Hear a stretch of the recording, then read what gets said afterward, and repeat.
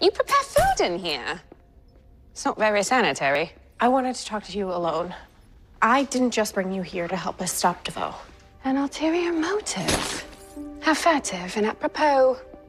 After all, why go through all the hassle of procuring me when Killer Frost could quite easily just ice blast those satellites down? Killer Frost is gone. I haven't been able to get her to appear ever since DeVoe used one of his powers on her. Remember last year when I came to you because Killer Frost was taking over? You fixed me. My transmodular genetic splicer. I need to use that splicer again.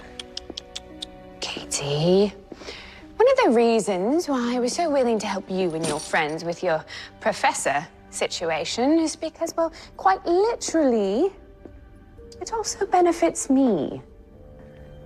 But giving you my splicer, not as beneficial. What if I make you a deal? You give me the splicer. Killer Frost and I will do you one favor.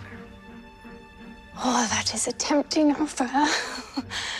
but unfortunately, my splicer was stashed right alongside my additional shards. In your Randstack storage unit. Okay. Wherever we find your shards, we should also find the splicer. Ding, ding, ding. So do we have a deal? You'll give me the splicer as soon as we recover it? I'll even tie a little bow on it.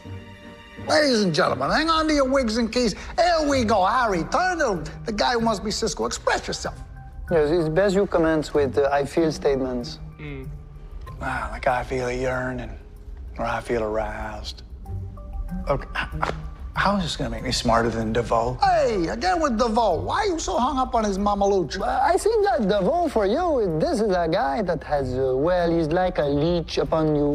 Sucking and sucking and sucking and sucking and sucking, and all you are left with is doubt. I like that.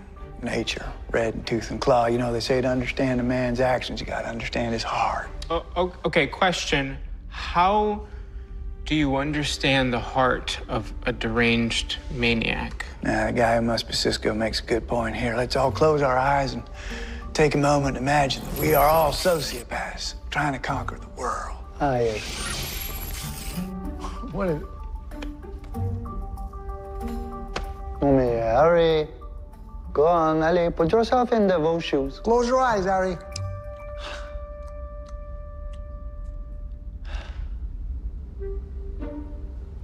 Now, what do you see? What do you smell? How do you feel? Dumb. Dumb. Hey, this is not making me any smarter. But aren't you smarter, Harry? You must channel your aggression into love. Wait, I feel you're mocking me. Oh, an I feel statement. Winner, winner. all right, all right, all right. Progress. On that note, Wait, wait. w- w- We're not we're done here, are we? yeah, yeah, we're done. Yeah, we're done. Oui, oui, No, no, no. F- Nothing's feeny. Now, Harry, you know what they say about all work and no play. At least no time for making whoopee. And there he goes. Okay, HP, come on. We're not, we haven't done anything. No, no, mon frère, désolé, hein? Parting such sweet sorrow, but I must bid you adieu, Harry from Ersu. Adieu. Hey, Harry, everything you need. You got it right in there. Remember, you're unbelievable. Remind, remind me again. What, what's, what's another word for huge? Colossal. Colossal. Great, thank you. This was a colossal waste of time.